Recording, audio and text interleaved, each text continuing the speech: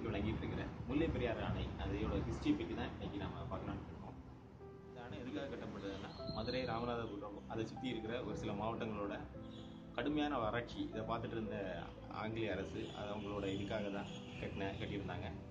இந்த அணை வந்து கட்டுறதுக்காக ஆயிரத்தி எழுநூற்றி எண்பத்தி ஒன்பதுல முத்து ராம பெ- சேதுபதினு சொல்லிட்டு ஒரு ஒருத்தர் ஒரு முக்கியமான ஒருத்தர் அவர் தான் இங்கே வந்து இந்த மாதிரியா தண்ணி வந்து கடலில் போய் கேரளாவில் சேர்ந்துக்கிட்டு இருக்குது. அதை வந்து ஒரு அணையை கட்டி இந்த பக்கமாக தமிழக மக்கள் வறட்சியான இந்த ஏரியாவுக்கு திருப்பி விட்டாச்சுன்னா எப்படி இருக்கும்? ஒரு நல்ல ஒரு ரிசல்ட் கிடைக்கும். ஏன்னா அப்போதைக்கு பிரிட்டிஷ் ஆட்சியில் தமிழக மக்கள் விவசாயத்தில் கொஞ்சம் அதிகமாக நல்ல ஒரு வசூல் கொடுத்துட்டு இருந்தாங்க. முக்கியமாக தஞ்சை தஞ்சையில் வந்து நம்மளோட நற்களஞ்சியம். அது வந்து பிரிட்டிஷ் காலத்தில் பிரிட்டிஷ் ஆட்சியோட நற்களஞ்சியமாகவும் அப்போ இருந்துட்டு இருந்த அதனால பிரிட்டிஷ் கவர்மெண்ட்டை சொல்கிறாரு இந்த மாதிரி ஒரு ஐடியா பண்ணி நீங்கள் வந்து ஒரு டேம் அந்த பக்கமாக கட்டினீங்கன்னா அங்கேருந்து வர தண்ணியை அப்படியே திருப்பி தமிழ்நாட்டு பக்கத்தில் விட்டாச்சுன்னா இந்த பக்கத்தில் அதாவது விவசாய நிலங்கள் பண்ணது மாதிரி நிறைய ஏரியாக்கள் இருக்குது மழையை மட்டுமே நம்பி இருக்கிறவங்க வந்து இந்த நேரத்தில் விவசாயம் பண்ணியாச்சுன்னா அதுலேருந்து வரியும் நம்மளோட பிரிட்டிஷ் கவர்மெண்ட் கிடைக்கும். அந்த மாதிரியான ஒரு இது வந்து ஐடியா வர கொடுக்கும்போது அவங்களும் ஓகே இதை பற்றி கொஞ்சம் ப்ராசஸ் பண்ணலான்னு சொல்லிட்டு ஆயிரத்தி எழுநூற்றி எண்பத்தி ஒன்பதில் எடுத்த அந்த ஸ்டெப்பை வந்து சின்ன சின்னதாட்டம் அவங்க நகர்த்தி கொண்டு போடுறாங்க அவங்க எங்கே கொண்டு போகிறாங்கன்னா திருவிதாங்கூடு அரச அந்த அரசோட இதில் தான் அந்த ஏரியா எல்லாம் மொத்தமாக கவராகி இருக்குது.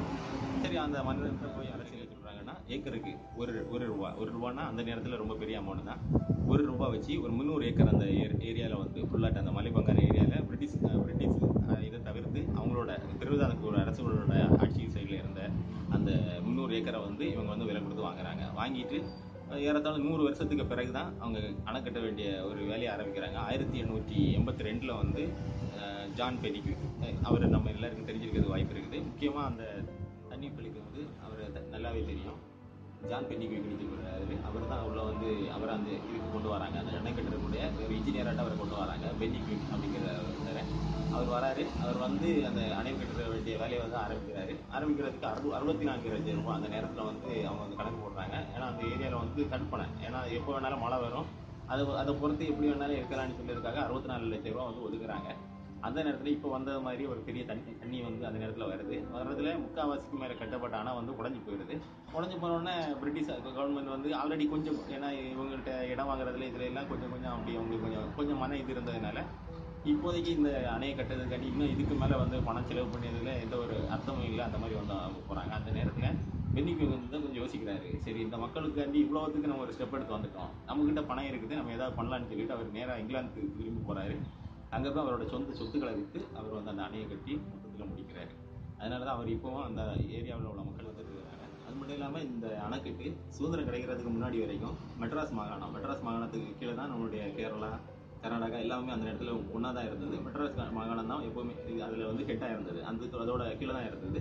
அப்போ பிரிட்டிஷ் ஆட்சி வந்து அவங்க வந்து ஆயிரத்தி தொள்ளாயிரத்தி நாற்பத்தி ஏழில் மாறும்போது இது வந்து கேரளா கவர்மெண்ட் கையில் போகுது. கேரளா கவர்மெண்ட் கையில் இந்த நேரத்தில் வந்து தண்ணீர் பிரச்சனை வருது. தண்ணீர் பிரச்சனை வரும்பொழுது தமிழக அரசு வந்து ஒரு வழக்கு வந்து போடுறாங்க கேரளா கவர்மெண்ட் மேலே. எதுக்காக போடுறாங்கன்னா இந்த மாதிரி இந்த அணை வந்து தமிழகத்துக்கும் ஒரு சம உரிமை வேணும். இந்த மாதிரிப்பட்ட ஒரு வழக்கை வந்து போடுறாங்க. அது வந்து இப்போ வந்து கோர்ட்டில் வந்து பாசிட்டிவ் ரிவ்யூவே வருது நம்ம தமிழக கவர்மெண்ட் மேலே. அதுக்காக அதுக்கப்புறமா ஆயிரத்தி தொள்ளாயிரத்தி அறுபதுல வந்து த- இங்கே கேரளாவில் ஒரு பெரிய தண்ணீர் இந்த மாதிரி ஒரு பெரிய ஒரு தண்ணீர் ஃப்ளோட் ஆகுது. அந்த நேரத்தில் வந்து ஐம்பது வருஷத்துக்கு மேலே ஆனதுனால இந்த அணைக்கட்டு தாங்குமா அப்படிங்கிற ஒரு இது வந்து அவங்களுக்கு வந்து ஒரு சந்தேகம் வருது. இதை வந்து பிற்காலத்தில் வந்து அங்கே உள்ள கேரளா மக்களும் சரி இன்னும் ஒரு சில ஊடகங்களும் சரி அதை வந்து காசாக்கிறதையும் அது மட்டும் இல்லாமல் அங்கே உள்ள மக்கள் மேலே வந்து ஒரு பயத்தை திணிக்கிறது மாதிரியும் ஒரு இதை வந்து கொண்டு வந்துட்டாங்க. இதே மாதிரி இதே மாதிரி தான் ஒரு பத்து வருஷத்துக்கு முன்னாடி அங்கே வந்து கேரளாவில் வந்து ஒரு ஒரு படம் ஒன்று ரிலீஸ் பண்ணியிருந்தாங்க. டேம் டேம் வந்து உடையிற மாதிரியும் அதில் வர தண்ணியினால பெரிய ஒரு அழிவு வர்றது மாதிரியும் பல மாவட்டத்துங்களும் அதில் உள்ள மக்களும் வந்து இறந்து போகிறது மாதிரியும் வந்து இவங்க வந்து ஒரு கிராஃபிக்ஸ் எல்லாம் பண்ணி அதை ஒரு இது பண்ணியிருந்தாங்க. அதை வந்து பார்க்கும்போது கண்டிப்பாக நம்மளாக இருந்தாலும் நம்ம மக்களாக இருந்தாலும் பயப்படுவாங்க. அவங்களும் அதே மாதிரி தான். பயப்பட்டு அந்த டேம் வந்து கண்டிப்பாக ஏதாவது பண்ணி ஆகணும்னு சொல்லிட்டு அவங்க வந்து ஒரு இதுக்கு வந்திருக்காங்க. அதே நேரத்தில் தான் நம்மளோட கவர்மெண்ட் வந்து ஆல்ரெடி சொல்லிட்டாங்க. ஏன்னா இந்த க- வந்து கட்டும்போது தொள்ளாயிரத்தி தொண்ணூற்றி ஒம்பது வருஷம் அதனால இது வந்து உறுதியாக இருக்குன்னு சொல்லிட்டு தான் அந்த இவங்க ஜான் பெனிக்யூக் வந்து சொல்லி நானே அணையை வந்து கட்டியிருந்தாங்க. அதனால நம்ம ஆட்கள் வந்து என்ன சொல்கிறாங்கன்னா இதோட உறுதியை வந்து சரி பண்ணதுக்காக எப்படி இருக்குன்னு சொல்லிட்டு சரி பார்க்கறதுக்காண்டி ஆய்வு குழு வந்து அங்கே விடுவோம் கொடுத்து நாங்கள் அந்த இதோட உறுதியை வந்து நாங்கள் கரெக்டாக இது பண்ணுவோம்னு சொல்லிட்டு அவங்க வந்து பண்ணி விடுவாங்க.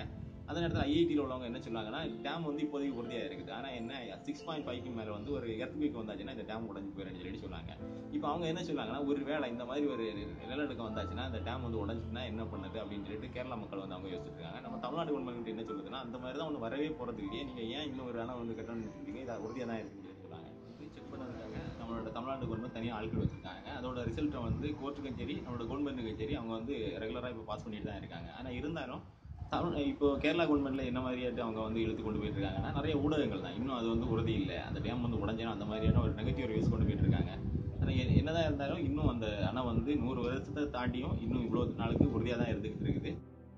இந்த- வீடியோ உங்களுக்கு பிடித்திருந்தால் இந்த வீடியோ நீங்கள் லைக் பண்ணுங்கள் மறக்காமல் சப்ஸ்கிரைப் பண்ணுங்கள் ஏதாவது உங்களுக்கு உங்களுக்கு தெரிஞ்ச புதிய நியூஸ்கள் அல்லது ஏதாவது இந்த மாதிரிப்பட்ட இது தொடர்பான ஏதாவது வீடியோக்கள் எதுவும் இருந்ததுன்னா அதை நீங்கள் கமெண்ட் செக்ஷனில் செக்ஷனில் நீங்கள் கமெண்ட் பண்ணுங்கள்